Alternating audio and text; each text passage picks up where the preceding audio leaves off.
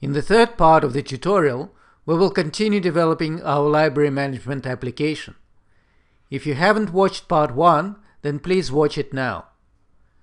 In the part 2 of the tutorial, we have designed the model of the application, business objects, relationships, and business rules. Now we're ready to proceed to the next step. According to the development methodology described in part 1 of the tutorial, we need to define user goals and scenarios, or use cases, describing how users will interact with our system. First of all, let's define categories of our users. We will, we will have the following categories. Administrator. For now, administrators will only create and delete staff members, and the bulk of the work will be done by the staff members. Staff members. These users will do most of the work. Register new members, items, and loans. Members. These will be registered members who have access to our system. They won't be able to do much other than change their own details, search the library, and check the details of their loans without being able to change them. So let's define goals for administrators. They're quite straightforward. Create a staff member, change staff member details, delete staff member.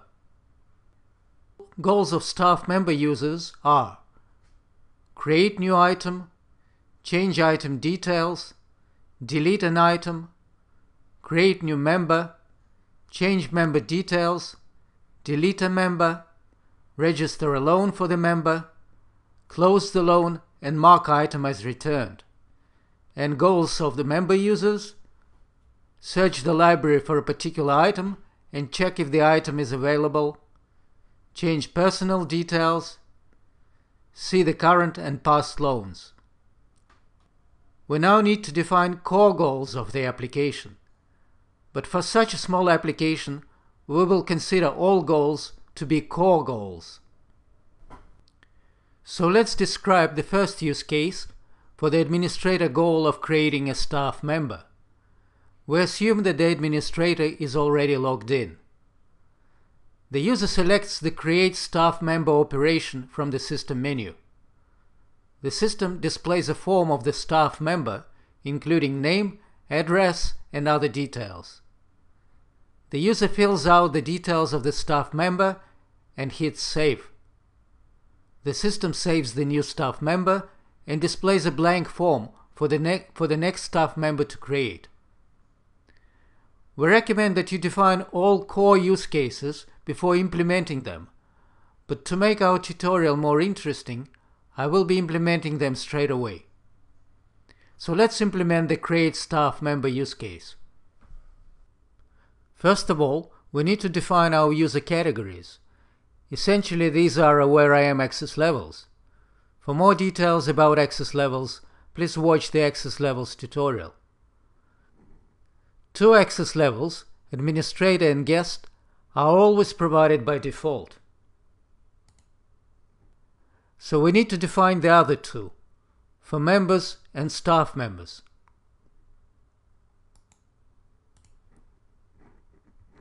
We'll call them member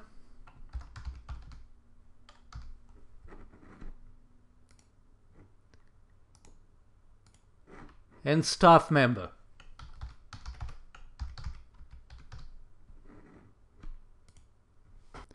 For now, we'll just define them without specifying their details. We will also need a visual perspective for each access level.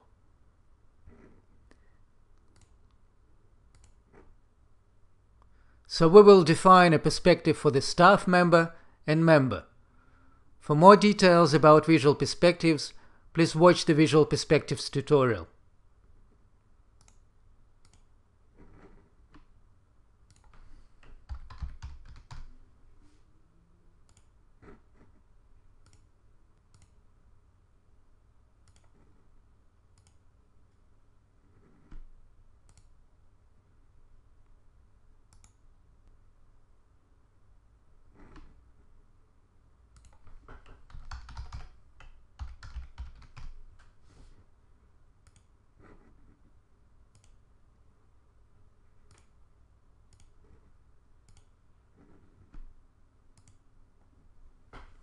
Again, at this stage, we will just define the perspectives without specifying their properties. Because members and staff members will need to log into the system, we must add the member and staff member business objects to the system user business object group.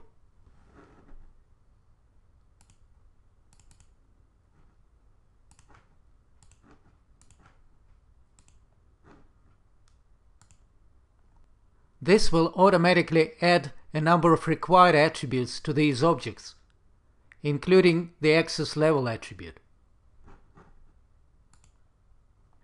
We will make sure that this attribute is initialized to member for the member object and staff member for the staff member object.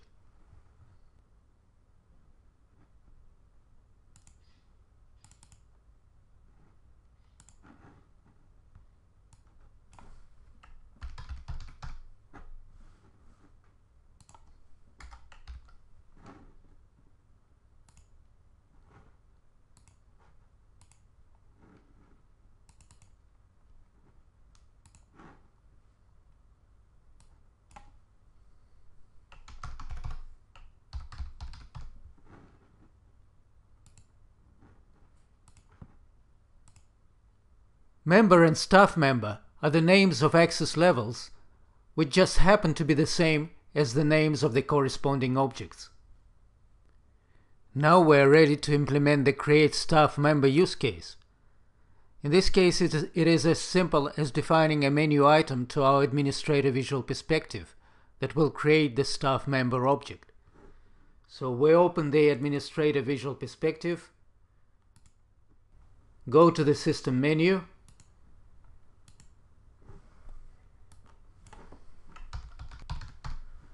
and add a menu item.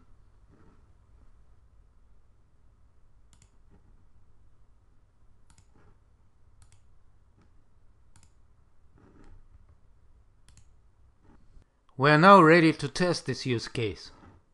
So put the version under test.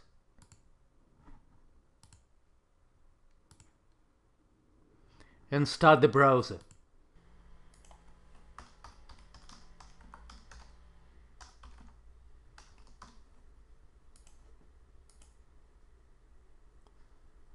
So when we log in, we can invoke the create staff member operation from the menu. And the system displays the default form of the object. The form looks very untidy and displays unnecessary fields. We do not want to display an access level because it is always the staff member. We also do not want to display time zone, theme, locale, RTL, as we will use the default values for them. As recommended in the methodology, at this point it is not normally necessary to worry about the user interface to be polished and perfect, but I will adjust the forms as we go to make it at least look tidy. It is perfectly fine to do this. So let's go back to our object and polish the form a little bit. Please watch the forms tutorial for more details on how to edit forms.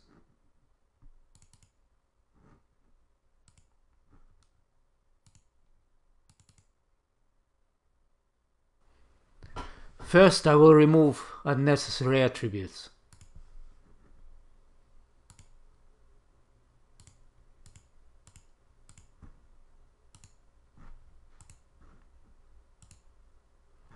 Then I will make the form a little bit smaller.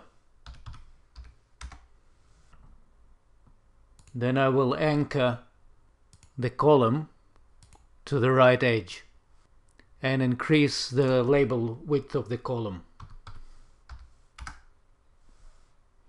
And now we'll make the address attribute a little bit bigger.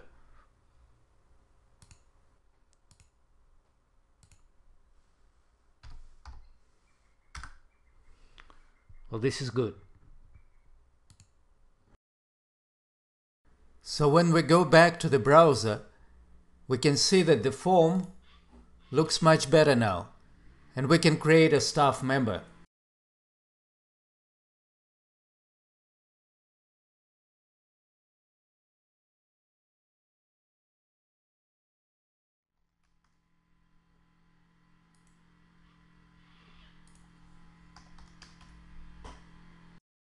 When we hit the Create button, the staff member is created and the form blanks out, ready for us to create another one. The next use case for the administrator is to update a staff member's details. To do this, the administrator first needs to find the staff member. The use case may look like this. The user selects Find Staff Member operation from the main menu. The system displays a form where the user can enter parameters of the search, such as name and or address of the staff member. The user enters search parameters and hits OK. The system displays the staff members matching the entered parameters. If the user entered nothing, all staff members are displayed. The user clicks on the entry of the staff member he wants to update. The system displays the form of the staff member. The user changes the details of the staff member and hits Save. The system updates the details of the staff member. Let's implement this use case. For the system to enter search parameters, search the data, and display the results, we need to define a query. For more details about queries, please watch the queries tutorial. We will define a query that will use the form of the staff member object.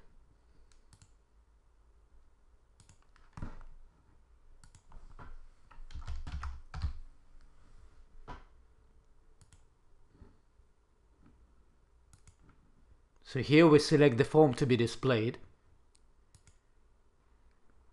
AwareIM will automatically use the entered parameters to display staff members matching the entered data. We will also select the attributes of the staff member object that we want to display.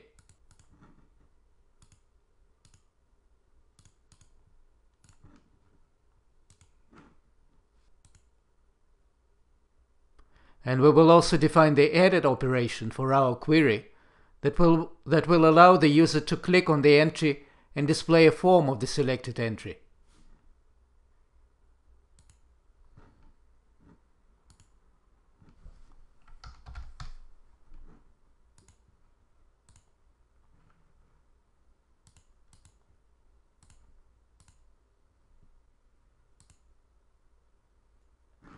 Now we just need to define a menu item that will run our query.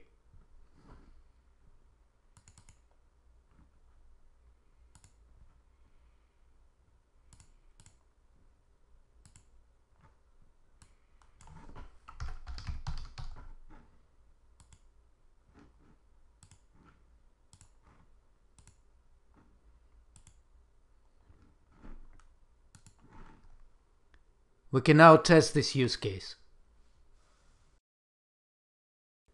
So we'll log in using the browser again, and we can see the new menu item to search for staff members. We select this menu item, and the system displays a pop-up window with parameters of the search. We can enter certain parameters to find the staff member we want. If we don't, all staff members are displayed. We only have one, so I'll just hit search. We can see that the staff member is displayed and we can click on the edit button to navigate to the form of the staff member. And now we can make some changes and press save. The changes are saved by the system. The last use case for the administrator is to delete a staff member. Again, the user needs to first identify the staff member to delete. So the first four steps of this use case are the same as the previous one. The only difference is that now the user can click on the delete icon next to a particular entry, or select several entries and click the delete button to delete, to delete them all at once. To implement this use case, we just add the delete operation to our previous query.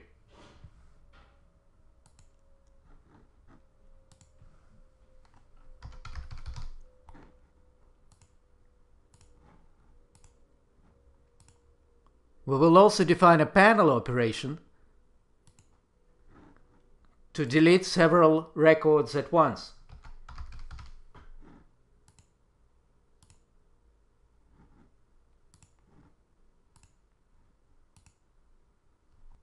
Let's see how this works.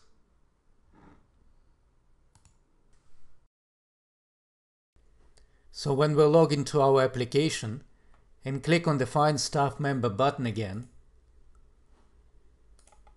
we can see now that there is a delete button next to the staff member entry. And if we press this button, the system will ask us whether we want to delete it. If we say yes, the system will delete it. This concludes the administrator use cases. In the next tutorial, we will discuss the use cases of the staff member user.